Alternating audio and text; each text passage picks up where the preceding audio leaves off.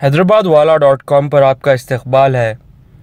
मैं सैयद यासर, आज आपको मेमुना यासमीन के रेसिपीज़ से मटर पुलाव बनाने का तरीक़ा बताने जा रहा हूँ। 250 ग्राम चावल को आधे घंटे के लिए भीगने के लिए रख दीजिए। सॉसपैन में डेढ़ टेबलस्पून तेल डालिए। जब तेल गर्म हो जाए, तब इसमें एक डली कटी हुई प्याज डालिए। तीन से चार दालचीनी के छोटे पीसेस डालिए। एक चीरी हुई इलायची। दो लौंग डालिए। प्याज को बादामी रंग का होने तक तल लीजिए। एक टीस्पून अदरक लहसुन का पेस्ट डालिए। पंद्रह सेकंड तक इसे तलिए। दो टीस्पून नमक डालिए। दो साबित हरी मिर्चें कटी हुई और बीज निकली हुई। 200 ग्राम मटर डालिए।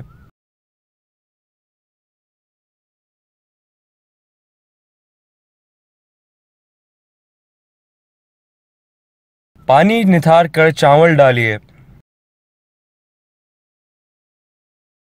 आधा कप कटे हुए पुदीने के पत्ते। आधा कप कटा हुआ हरा धनिया डालिए और एक मिनट तक भूनिए।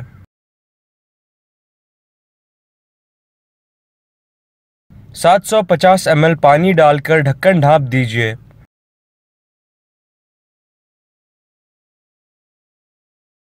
जब पानी में उबाल आ जाए, तब एक टीस्पून असली घी डालिए।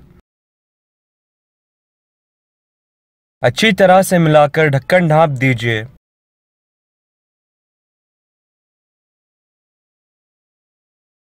मीडियम आँच पर पकाइए।